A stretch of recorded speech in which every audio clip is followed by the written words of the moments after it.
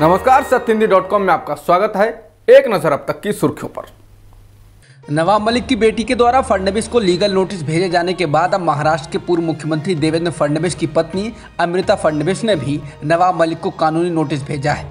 अमृता फडणवीस ने इस नोटिस में नवाब मलिक पर परिवार को बदनाम करने और छवि खराब करने का आरोप लगाया है। बता दें कि इससे पहले नवाब मलिक के दामाद समीर खान की ओर से फडणवीस को बिना किसी प्रमाण के उनके खिलाफ निराधार आरोप लगाने के लिए पाँच करोड़ रुपए का मानहानि नोटिस भेजा गया और उनसे लिखित माफ़ी की भी मांग की गई। अभिनेत्री कंगना रनौत के भारत की आज़ादी को लेकर दिए गए विवादित बयान के बाद अब बीजेपी नेता और सांसद वरुण गांधी ने उन पर हमला बोला। वरुण गांधी ने कंगना के वीडियो को ट्वीट करते हुए लिखा है कि कभी महात्मा गांधी जी के त्याग और तपस्या का अपमान कभी उनके हत्यारे का सम्मान, और अब शहीद मंगल पांडे से लेकर रानी लक्ष्मीबाई, भगत सिंह, चंद्रशेखर आज़ाद, नेताजी सुभाष चंद्र बोस और लाखों स्वतंत्रता सेनानियों की कुर्बानियों का तिरस्कार किया गया। इस सोच को मैं पागलपन कहूँ या फिर देशद्रोह? बता दें, कंगना रनौत ने एक टीवी न्यूज़ चैनल के कार्यक्रम में कहा कि पहले जो मिली थी, वो भीख थी। असली आज़ादी तो 2014 में मिली है, यानी कि पीएम मोदी के सत्ता में आने के बाद। कंगना रनौत के बेहुदे बयान के बाद आम आदमी पार्टी ने मुंबई पुलिस को एक आवेदन देकर मांग की है कि फ़िल्म अभिनेत्री के खिलाफ केस दर्ज किया जाए। आम आदमी पार्टी के राष्ट्रीय कार्यकारिणी सदस्य प्रीति शर्मा मेनन ने कंगना की टिप्पणी को देशद्रोह और भड़काऊ करार दिया। मेनन ने एक ट्वीट में कहा कि आप रनौत द्वारा किए गए अपमानजनक बयान की कड़ी निंदा करता है, जिसमें कहा गया है कि उन्नीस सौ सैंतालीस की भारत की आज़ादी भीख थी और असली आज़ादी नहीं थी। एक अन्य ट्वीट में मेनन ने कहा कि उन्होंने मुंबई पुलिस को एक आवेदन दिया है जिसमें रनौत के खिलाफ भारतीय दंड संहिता की धारा 504, 505 और 124 ए के तहत उनके देशद्रोही और भड़काऊ बयानों के खिलाफ कार्रवाई करने की मांग की गई है। कांग्रेस के वरिष्ठ नेता सलमान खुर्शीद की नई किताब को लेकर विवाद हो गया है। इस किताब में उन्होंने हिंदुत्व की तुलना आतंकवादी तंजीमों आईसिस और बोको हरम से की। खुर्शीद की किताब का नाम sunrise over Ayodhya nationhood in our times है और इसे बुधवार शाम को रिलीज़ किया गया है। ये बात उन्होंने किताब के द सेफरन स्काई नाम के चैप्टर में कही। खुर्शीद के बोको हरम और आईसिस से हिंदुत्व की तुलना करने पर बीजेपी ने उन्हें निशाने पर ले लिया।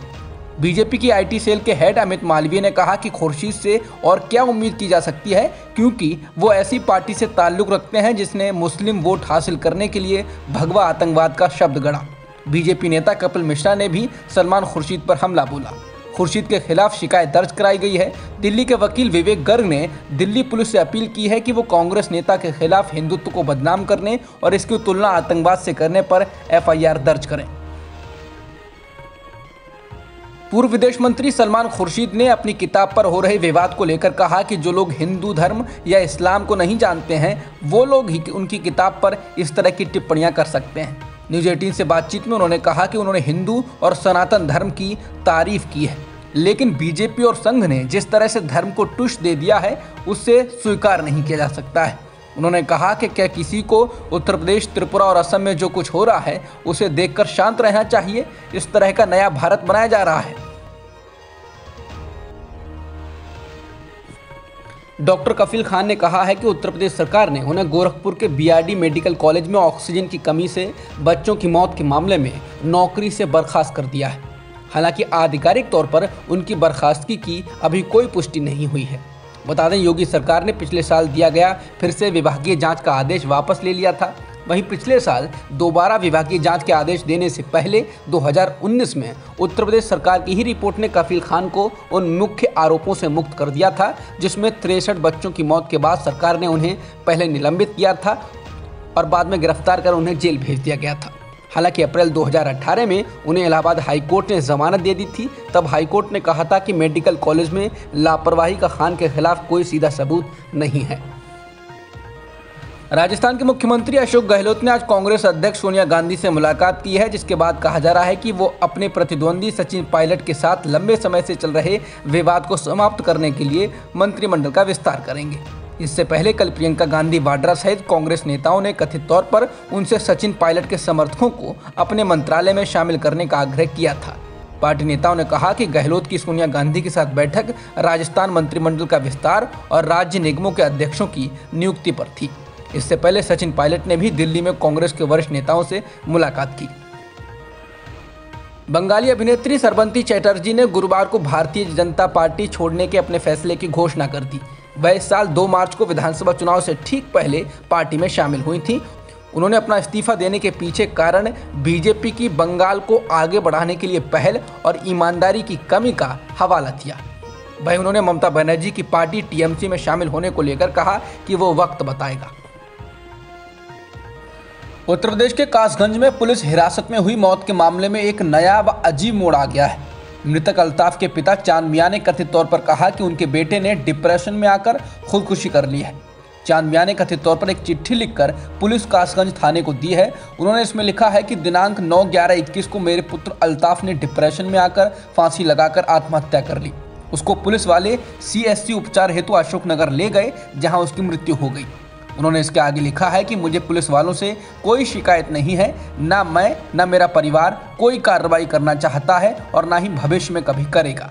बता दें पुलिस का कहना है कि अल्ताफ ने वॉशरूम में जाकर उसमें लगे टैप की टोटी से लटक कर जान दे दी। हालाँकि ये बात किसी को भी हजम नहीं हो रही है, क्योंकि करीब दो फीट ऊंचाई पर ही टैप है। मीडिया रिपोर्टों के मुताबिक अल्ताफ की माँ फातिमा और उसके चाचा हुसैन ने यह आशंका जताई है कि चाँद मियाँ ने पुलिस के दबाव में आकर अपना बयान बदला है और वह वही कह रहे हैं जो पुलिस ने पहले कहा था। फातिमा ने आज तक से कहा, मुझे नहीं पता अब उन्होंने ऐसा क्यों कहा है, हमें इंसाफ नहीं मिला है। उन्हें डराया गया होगा, धमकाया गया होगा। बता दें पहले अल्ताफ के पिता ने कहा था कि उनके बेटे की पुलिस ने हिरासत में हत्या कर दी है। वहीं मीडिया रिपोर्ट्स में भी आया है कि अल्ताफ की माँ बता रही हैं कि अल्ताफ के सिर में चोट और पैरों में सूजन थी। उसको पीटा गया था। चेन्नई में बारिश आफत बनकर आई है। राज्य में बीते कई दिनों से लगातार बारिश हो रही है और इसने अब तक चौदह लोगों की जान ले ली है। हालात ये हालात ये हैं कि शहर के निचले इलाकों में स्थित दुकानों, घरों में पानी भर गया है। बारिश के साथ ही तेज़ हवाएँ भी चल रही हैं। बताया जा रहा है कि औसत से 50 फ़ीसद ज़्यादा बारिश हुई है। मौसम विभाग ने रेड अलर्ट जारी किया है और कहा है कि उत्तरी चेन्नई, तिरुवल्लूर, चेंगलपेट, कांचीपुरम, रानीपेट, विल्लुपुरम और कुड्डालोर जिलों में भारी से भारी बारिश हो सकती है। अब तक की खबरों में इतना ही। बाकी खबरों के लिए बने रहिए सत्य हिंदी डॉट कॉम के साथ। सत्य हिंदी का ऐप डाउनलोड करें गूगल प्ले स्टोर पर।